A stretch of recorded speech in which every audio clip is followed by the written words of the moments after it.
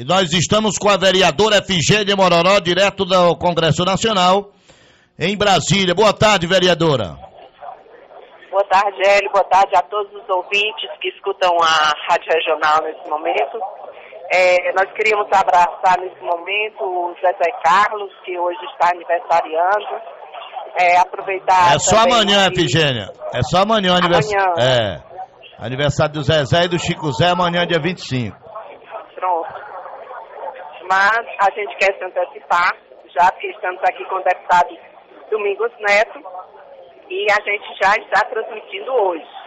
E queria estender também ao meu irmão, ah. Francisco Antônio, a Georgiana, que hoje também é aniversaria.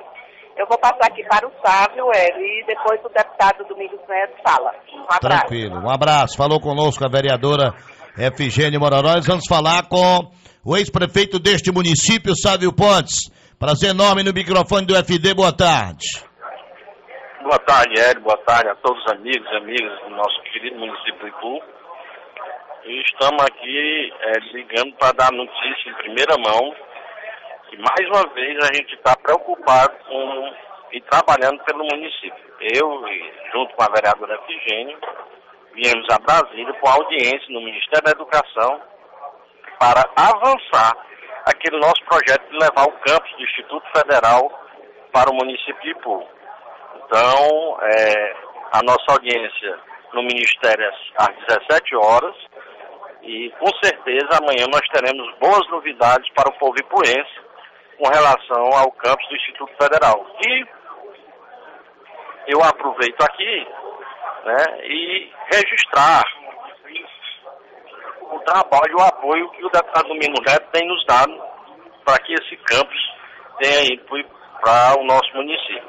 Inclusive, é, é, vou passar para o deputado que está aqui conosco, para que ele possa também falar um pouco, que ele já fez o projeto de lei é, que implanta o, o, o campus do Instituto Federal aí no nosso município. Falam conosco o ex-prefeito do Ipu, Sávio Pontes, e nós vamos falar com o deputado bicampeão do Ipu, deputado Domingos Neto, jovem deputado que é destaque é, na capital federal Brasília. Deputado, um abraço, muito obrigado, prazer enorme de falar conosco, comunicar conosco no microfone da Rádio Regional. O senhor está no FT, trazendo uma excelente notícia para a população do Ipu. Boa tarde, Hélio, boa tarde aos ouvintes da Rádio Regional. Uma alegria poder voltar aos microfones para mais um momento importante para o município e também para toda a região, que esse é, é, algo que nós já, já estamos lutando há um bom tempo. Desde quando, ainda em 2012, nós levamos, sabe, o prefeito ao Ministério da Educação para tratar do interesse de que no próximo plano de expansão pudesse estar contemplado o município do Ipu, até hoje, quando nós já fizemos a nossa parte, processo de criação de um campus exige que possa ser feito por via de lei, e assim eu apresentei o projeto de lei para que pudéssemos contemplar o IPU. Esse projeto já, já está tramitando em, nas, nas comissões, projeto de minha autoria, e hoje, na nossa audiência marcada no Ministério, com o secretário de Ensino Profissional, secretário Marcelo Férez, onde nós vamos tratar exatamente do plano de expansão dos institutos federais para que possa atender o município do Ipu. Esse é um, um desafio que nós precisamos vencer e temos feito aqui a nossa parte. Aproveito também para dizer que estaremos juntos agora às 14 horas, também no Ministério da Educação, com o ex-ministro Cid Gomes, onde hoje será homenageado com a posição da sua placa lá na galeria dos ex-ministros. E é, viemos aqui aproveitar pra, também para prestigiá-lo nesse momento. Bom, deputado, e a importância desse Instituto Federal aqui no, na cidade do Ipu? Eu queria que o senhor retornasse para contar essa história. Como é que foi, como é que foi essa iniciativa desse projeto de lei e que vai gerar uma série daqui para frente de atitudes para a gente é, é, realmente esclarecer quem é o padrinho dessa história? No final de 2010 foi feito um, um primeiro plano de expansão dos institutos federais a partir daí, iniciou-se já os estudos de viabilidade para outras regiões. Em 2012, nós estivemos no Ministério, com o prefeito, a prefeitura se colocou totalmente à disposição naquele momento para tratar num próximo plano de expansão que pudéssemos beneficiar o município do Ipu. Inclusive, já fazendo a nossa parte quanto a estudos de viabilidade, estudo de potencial regional, fizemos um levantamento do mapa, aonde quais, eram os municípios que poderiam ser atingidos, a população eh, em torno do município do Ipu e precisa-se também de passar pela Câmara dos Deputados por via de lei. E não, essa coisa, eu não tenho nenhuma dificuldade é, de, de tentar discutir quem é padrinho, quem não é padrinho, até porque o autor da lei é o deputado Domingos Neto. Quem quiser olhar na, no site, na internet, quem é que propôs, fez a propositura da lei para criar o Instituto Federal do Ipu, fui eu. Então, não tenho nenhuma dificuldade em poder saber disso, até porque é, é, é, não é meu estilo de tentar atuar politicamente como, como corrupião. E hoje nós damos mais um passo nisso, que é poder vir ao Ministério, já para apresentar ao Ministério que a, que, a, que a lei está tramitando na Câmara dos Deputados, e que nós vamos, junto ao Ministério, já garantir, que foi isso que eu já fiz também das outras vezes, todo o apoio na Câmara, na Comissão de Orçamento da Câmara também, para que nós possamos ajudar que o que depender do orçamento federal, nós vamos interceder na, na comissão de orçamento para que possa também estar garantido. Então, hoje será um dia importante, onde em ambas as reuniões, primeira reunião, o primeiro onde vai ter a fusão da placa, nós vamos estar com o ministro da Educação, o ministro Luiz Mercadante, e depois uma reunião mais técnica com o pessoal do, da Secretaria específica da área dos Institutos Federais, para poder já ter uma reunião de trabalho sobre esse plano de expansão, onde nós vamos dedicar todos os nossos esforços para resolver isso para o bem do Ipu e da região. Está no microfone do FD, deputado Domingos Neto. Além dessa pauta, que é importantíssima, está lotada no dia de hoje, deputado.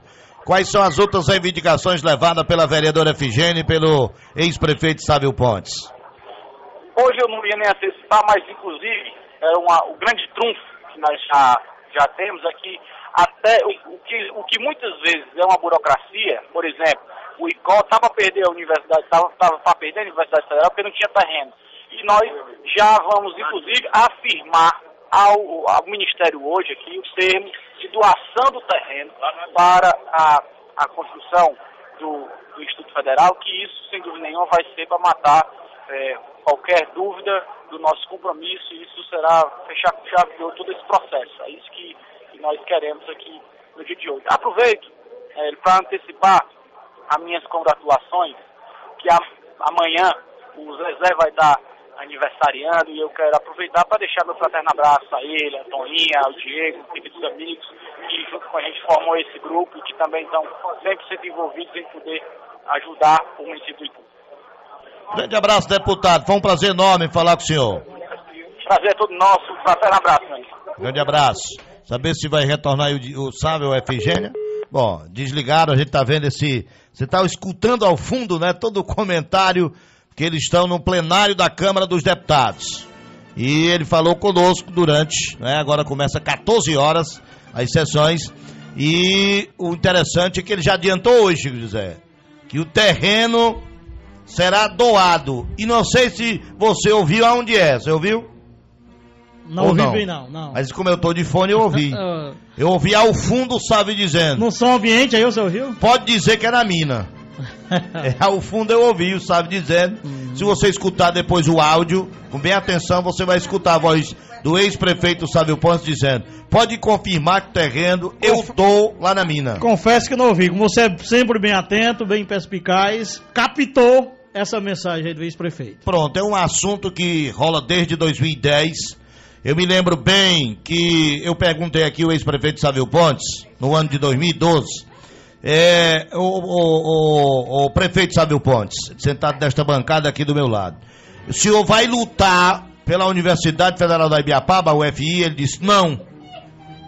Aí minha pergunta sequência foi Você ficou até constrangido, né? Com a, por quê? Com a resposta. Por quê? Porque Contrariado, digamos assim. Porque existia toda uma empolgação do Harrison Ramon, do vereador Adriano Melo, do Marcos Sampaio. Dos universitários do Ipu. Dos universitários, nossa, do povo do Ipu, do, de quem quer fazer um curso e não quer um deslocamento tão longo, né? Uhum. E aí, é, quando o Sávio Pontes disse não, Aí eu disparei, mas por quê? Ele disse, olha, hoje a cidade de Sobral, que é a principal cidade da nossa região, ela não tem universidade federal. Ela tem um estadual que é a UVA. Ninguém tinha despertado para isso. Ela não tem federal. O que existe em Sobral é particular, há universidades particulares, e existe um campus da UFC, com sede em Fortaleza, e aqui é só, vamos dizer assim, num- numa linguagem popular, uma filial aqui em Sobral. Então, a Sobral não tem universidade federal. Como é que eu vou lutar aqui para minha região? Uma universidade federal, se a cidade que tem mais poder político não tem, se vier, Seria uma luta inútil, né? aí ele disse, Uma luta em glória. é, se vier instalar uma universidade federal, vai ser para Sobral. Agora eu prefiro, Hélio, lutar por uma coisa menor, É. que é um instituto federal. Aí tem condições. Nós já adiantamos esse assunto em Brasília com o Domingos Neto. Sabe onde piso, sabe? O Domingos Neto, com, a, com sua assessoria, está estudando a viabilização e depois de toda a viabilização desse estudo, nós vamos ingressar com esse pedido e nós vamos no nosso segundo mandato. Na época ele, ele, ele tinha certeza que tinha um segundo mandato. No nosso segundo mandato nós vamos ter esse Fe- Federal aqui na cidade do Ipu. Foram as palavras dele. Naquela época, 2012, eu me lembro disso. E aí rolou, rolou, agora chegou. O autor da lei é Domingos Neto. O relator é o deputado Cabo Sabino. E hoje tem audiência com o ministro da Educação e tem depois com os assessores do Ministério. Dentro desses assessores, eu conheço um até demais e você também. Você entrevistou ele várias vezes. E, e o Dilvan Alencar. E Dilvan Alencar. Grande É. capacidade. E Dilvan Alencar. Por muitas vezes consultor da educação É, tenho certeza que ele será, ele está ele tá viabilizando também esse assunto para o Ipu. Quais são os passos? O passo para ser de um terreno. Eu ouvi ao fundo o Sávio dizer, olha, o terreno está doado, eu vou doar o terreno lá na mina. O Sávio diz aí na gravação, eu vou doar o terreno lá na mina. E o outro passo é fazer audiência pública com, a- com os universitários, com a sociedade ipuense. Depois dessa audiência pública, daí é só a parte burocrática. Você viu que o deputado disse que vai viabilizar os recursos na comissão de orça- orçamento. Já vai a comissão de orçamento para viabilizar os recursos para a implantação desse Instituto Federal do Ceará no Ipu. Então não está faltando praticamente nada. É só Todos os trâmites estão andando direitinho, né? Dentro do que se imagina, do que se deseja. Ou seja, se todo esse processo, a questão burocrática, a busca né, pela implantação do campus no Ipu, ela, ela está em andamento e poderia esbarrar na falta de um terreno, como aconteceu em outras cidades aí que foi citado. Icó. No Icó. Terra da Maria Bonita pede o tique pimenta para doar esse terreno, A Maria. doação do terreno já tem aqui. Ia O terreno perdendo, já garantido. ia perdendo lá porque não tinha o terreno. o terreno. Ah, aí, o re- aí depois desse terreno, Hélio, seria o quê? O recurso. E o deputado já está viabilizando os recursos. Não falta, falta praticamente nada, o processo está Essa andando é só questão de tempo, né, Só questão, pronto, você diz tudo, só questão de tempo. Ó, essa, essa questão É, mate, é, é prego batido e ponta virada.